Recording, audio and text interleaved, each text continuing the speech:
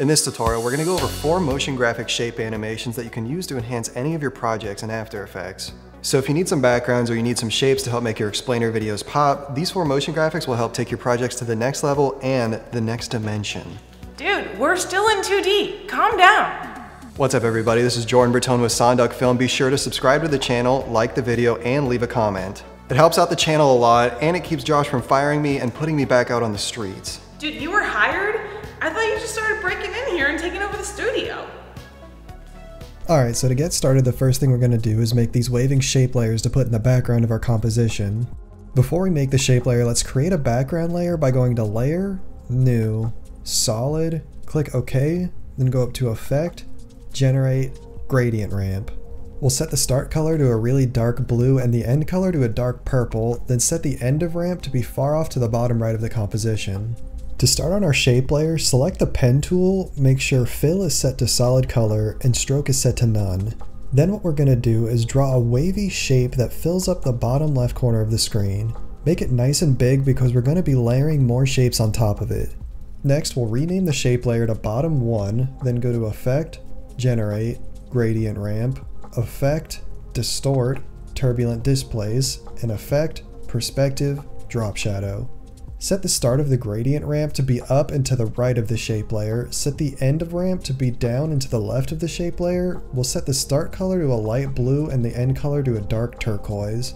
Set the size of the turbulent displace to 285, then alt-click the stopwatch for evolution and type in time asterisk 35 into the expression controls panel. For the drop shadow, set the opacity to 100%, direction to 55 degrees, distance to 10, and softness to 150. Now that we have our first shape layer set up, let's duplicate it by pressing Ctrl D, select the pen tool, then click and drag the different points of the shape layer to make it look unique from the first shape layer.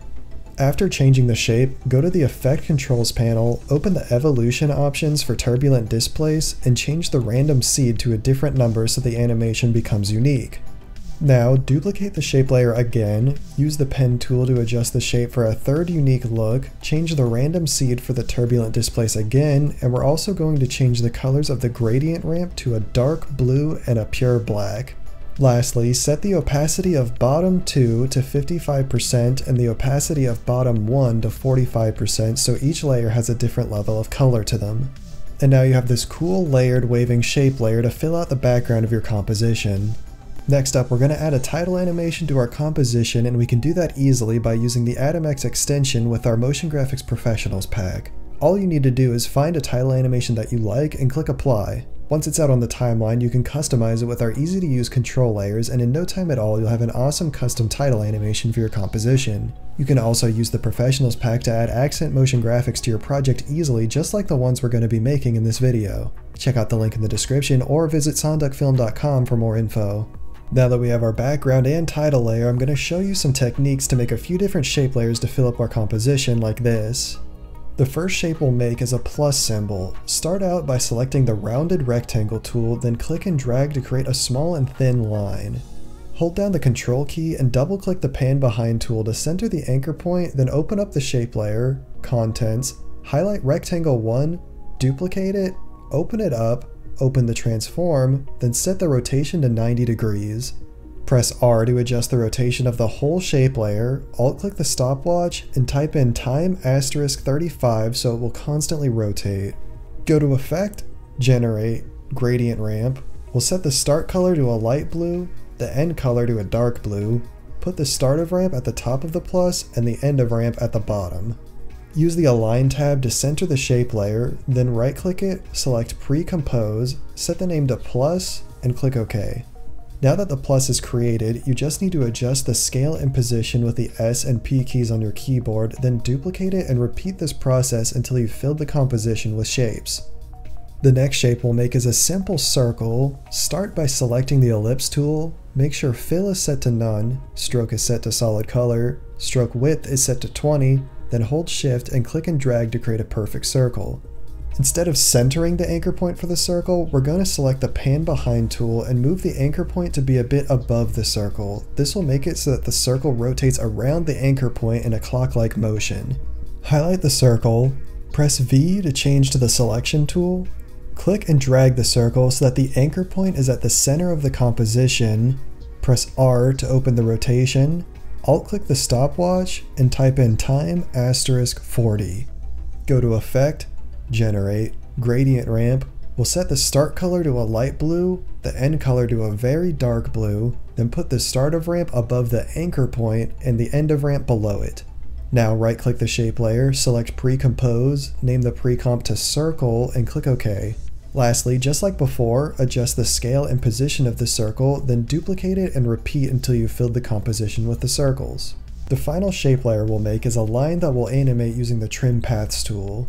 Start by selecting the pen tool, make sure fill is set to none, stroke is set to solid color, stroke width is set to 15, then hold shift and click twice to create a straight horizontal line like this.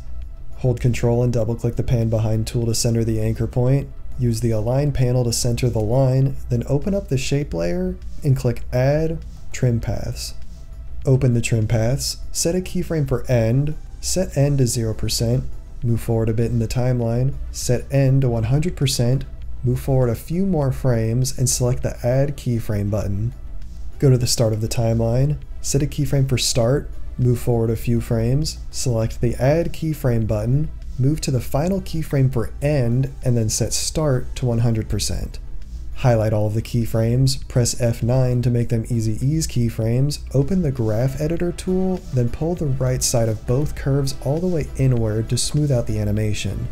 Hold down the Alt key, click the stopwatch next to start, type in a loop out with a capital O, open parentheses, close parentheses, then do the same thing for the end keyframe. This will make it so that the animation loops. Go to Effect, Generate, Gradient Ramp, set the start and end colors to a light and dark blue again, then set the start and end of ramp to be at the left and right of the line. Right click the shape layer, select Pre-Compose, name the pre-comp to Line, click OK, change the scale as well as the position, then duplicate and repeat this until you fill the composition with lines. Now you have this awesome composition filled with shape layers to use for your projects in After Effects. And there you have it, four shape techniques in four minutes in 2D time. If you didn't know, time moves slower in 3D. Josh wrote that joke. I hope you enjoyed the video. Be sure to suplex that subscribe button. We post two post-production tutorials a week. You can also hit us up on our Instagram. I post short tutorials on there as well. And remember, always be creating.